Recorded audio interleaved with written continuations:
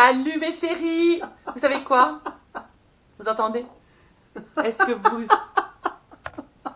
Oh non mais regardez comment je suis chargée. Bonjour.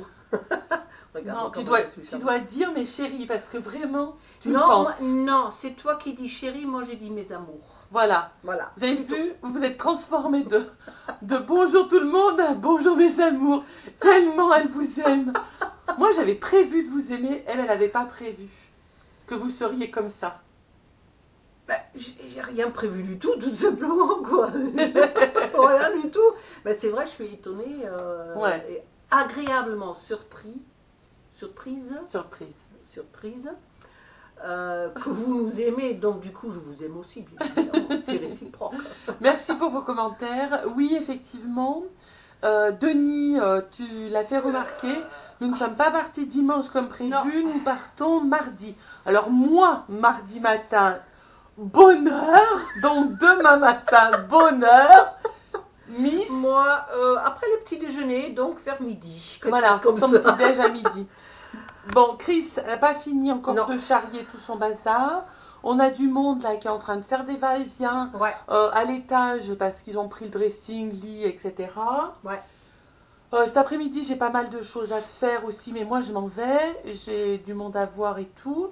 Je vais sûrement une aller voir. dernière fois. hein. Ouais, ben ouais. Je vais sûrement aller voir aussi mon amie Fabienne euh, à l'hôpital. Je vais tout Ouais. faire pour y pouvoir y aller, Ouais. parce qu'avec avec, avec Coquelicot, des fois c'est pas facile pour se garer. Ouais. Donc euh, la journée euh, file tranquillement. Et ça va être assez chargé. Tranquillement. encore, hein, parce, que, parce que quand je regarde, quand je vois tout ce que j'ai encore amené chez le voisin, là, dans, Ouais. Dans la grange, dans la mi-grange, la, la, la- la partie de la grange qui Mm. nous a. Qui nous a Non, mais euh, Chrissa, elle n'arrive pas à trois faire de plein de choses. C'est pas ça, j'ai plus de poubelle, je sais pas où le mettre. hein. La grange, elle sort de poubelle. Bah, Allez.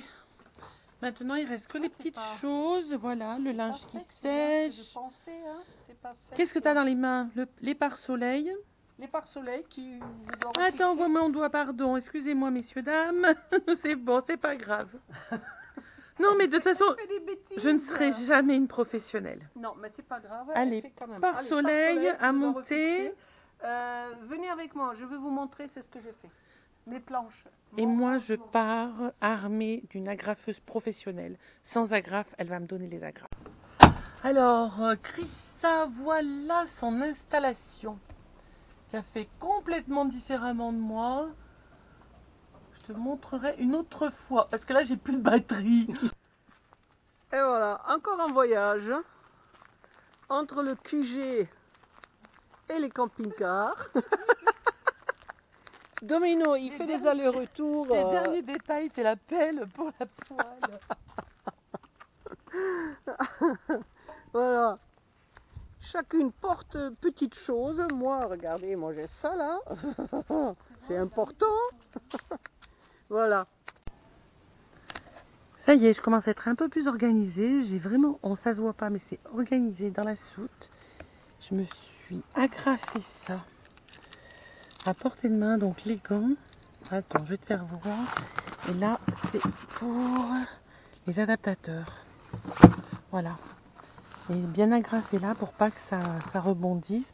Il fallait que ce soit de ce côté parce que toutes mes entrées, réapprovisionnement, gasoil, euh, eau, gaz, tout est de ce côté. Et c'est pour ça que j'ai mis à cette porte de soute les adaptateurs pour GPL, etc. C'est trop lourd pour faire les deux à la fois, donc je fais un par un. Et là de ce côté, je suis super fière de moi. Un autre plein d'agrafes.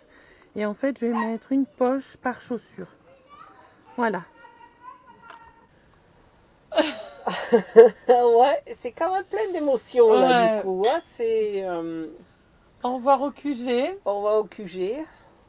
T'as eu du mal à venir à la campagne au début. Et puis vrai. finalement... Je- je- euh, Je me moquais de toi parce que moi, la citadine à 1000%, Ouais. euh, mais elle- on change. hmm, Moi, On je suis émue aussi. euh, Ouais, Chin. allez, chin.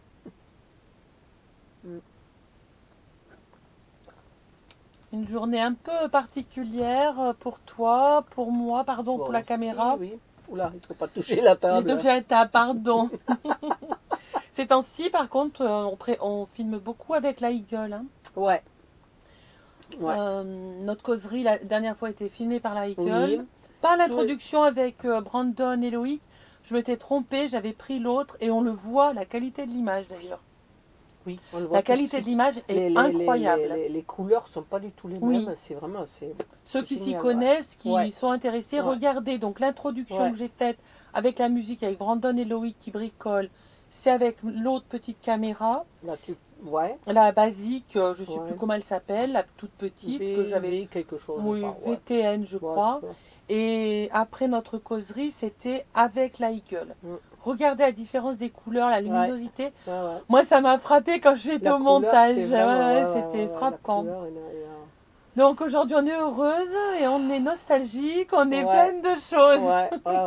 Je m'attendais pas à, euh, à ça parce qu'en fait, j'ai- jamais vraiment vécu ici. Il y a du bazar partout dans cette maison. ouais, bah, écoute, hein, euh, voilà. Euh, j'ai jamais vraiment vécu ici. Non, bah non. Je suis venue plusieurs fois. euh, J'étais chaque fois. C'est que la première fois que tu es venu me chercher. Oui, je suis venue te chercher à la gare à de ma- À Castillon. la gare, voilà. Je t'ai amené Et au QG. J'étais venue, j'étais venue en, en train. Oui, Ensuite, c'était avec la camionnette oui. pour ramener mes affaires. Mhm. Voilà. Et après, c'était avec Foxy. Et après, c'était avec Foxy. Donc, j'ai jamais, jamais vécu ici, Mm. mais euh, euh, ça me fait quelque chose, moi aussi, tu vois. C'est Mm. un peu nostalgique, mais euh, c'est c'est un chapitre qui se clôt, qui se termine. Oui, bien sûr. Et, euh, et là, on va devenir définitivement STF sauvage. Moi, de, hum, de Ouais. quitter cette maison, ça me fait beaucoup d'émotions parce Ouais. que j'ai déjà été propriétaire. Mm.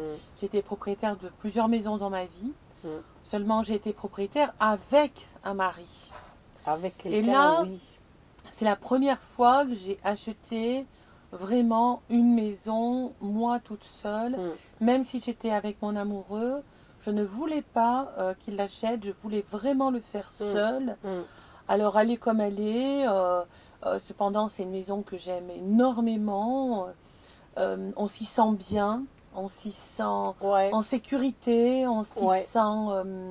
Il y a une âme dans cette maison. Elle n'est pas brinque-ballante. Elle a seulement besoin de rénovation. Mais on sent ces murs. Bon, quand même des murs de plus de 60 cm de pierre dont un qui traverse le milieu de la maison, parce qu'à l'origine c'était bon sûrement une étable ou une cave, peu quelque importe, chose comme ça. donc au milieu. Et il y a quelque chose de très fort dans cette maison Ouais. et C'est une maison qui a une vie, qui a Oui, vécu, ouais. qui a une vécu, qui a une vie derrière elle, euh, avec plusieurs propriétaires, je suppose. Oui, j'imagine. Moi j'ai connu le dernier, c'est parce tout. que, parce Voilà. que vu, vu comme elle est construite et vu l'épaisseur des murs Ouais. et la petitesse des fenêtres Ouais, et tout ouais, ça, oh, je pense qu'elle doit avoir Mm. une, cent- une centaine d'années à Je- peu près. je qu'est-ce sais pense, hein. Pas, je sais pas parce que euh, pas, sur une je- des pierres, sur une des pierres dans la pentille, ce que j'appelle la pentille, Ouais. il a été gravé proprement, correctement 1922. Ouais, donc. euh, Est-ce que ce sont les maçons Oui, qui... possible. ouais, Voilà, et ouais. parce que moi j'ai déjà vu ça dans d'autres endroits Ah, ça se fait. où ça le maçon gravait vraiment. Donc ça n'a pas été fait par des gamins Non, amoureux. non, non, non, Et c'est vraiment bien, on le voit bien d'ailleurs. Hein, Je ne euh, sais pas si tu te souviens, en Autriche et en Bavière, on voit beaucoup de maisons où c'est gravé, l'année de construction est gravée au-dessus de la porte d'entrée. Donc c'est fortement possible, tu vois, j'étais pas trop mal avec moi. Avec Donc, ma demain- ouais. Demain, bah, je vais dire au revoir à cette maison. Mm. Je vais aller me prendre une douche quand même demain matin.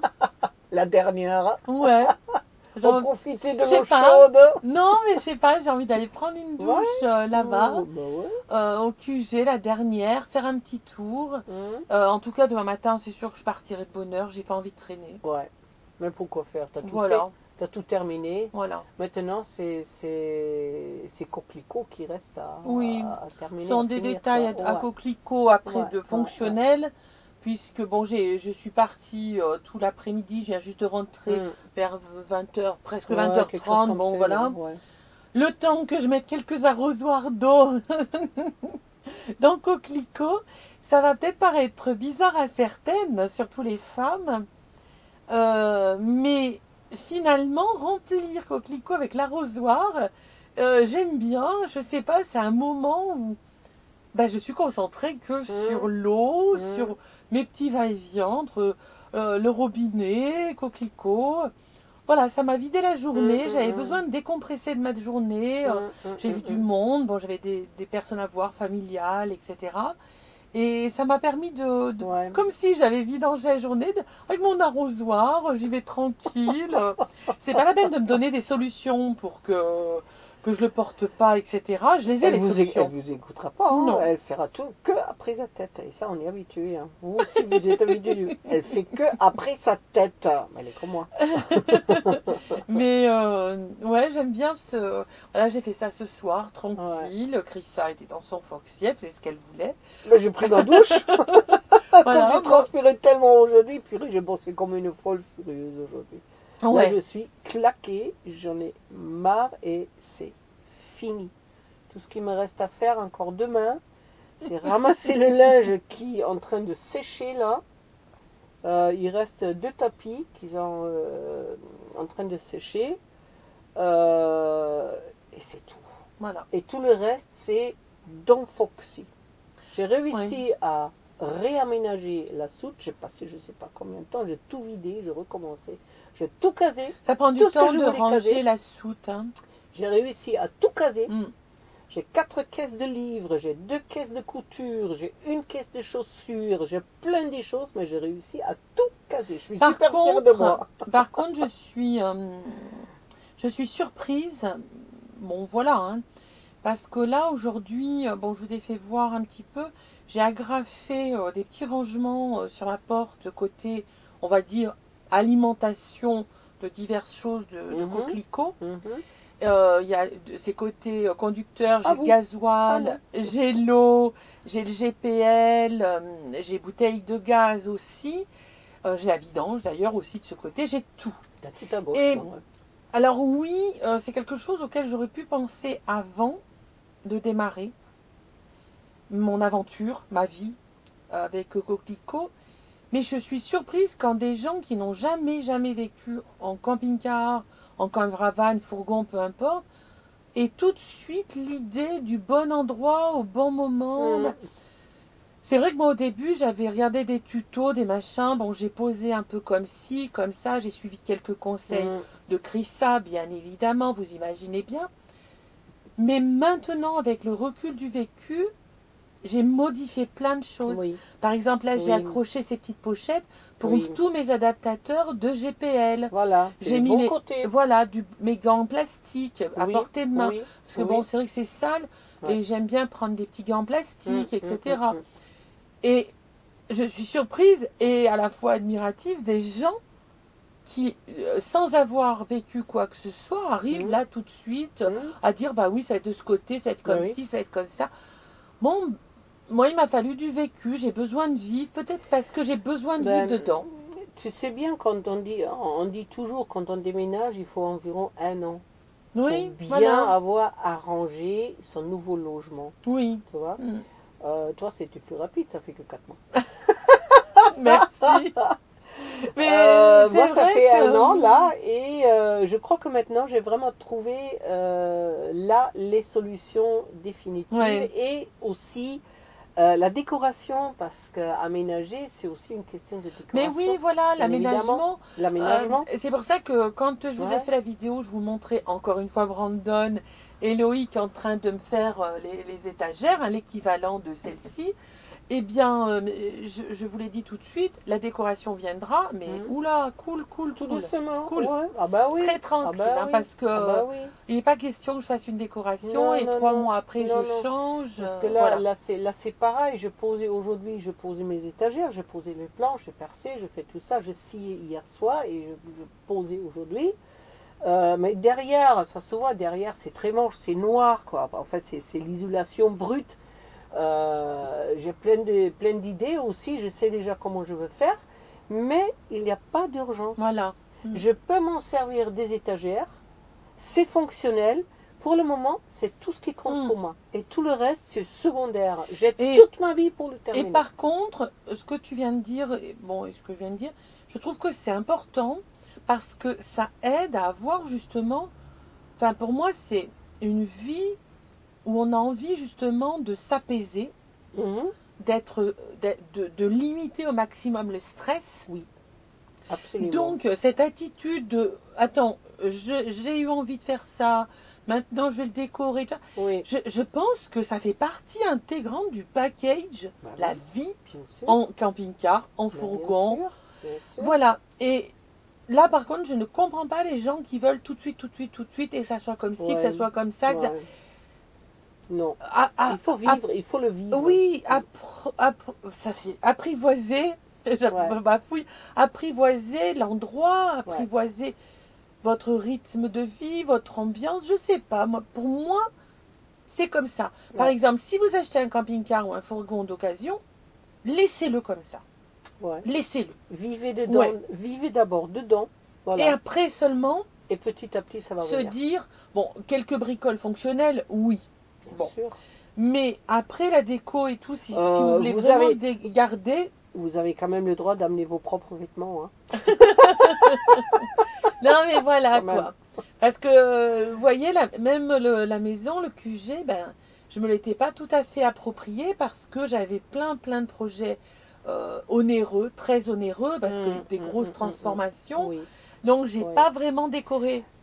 Oui, Voilà. mais tu as fait une partie, tu as réalisé quand même une grande partie. Oui, la pièce à vivre, la, surtout. la, la, poêle, Le poêle, le à poêle, granulé. pardon, le poêle à granulé. Oui, Euh, Les peintures où- où, vous avez vu on pa- on faisait les peinture, le bleu, voilà, c'est très joli d'ailleurs, j'adore ce bleu. Euh, les puits de jour oui. Dans la ton pièce, bureau, euh, voilà. voilà.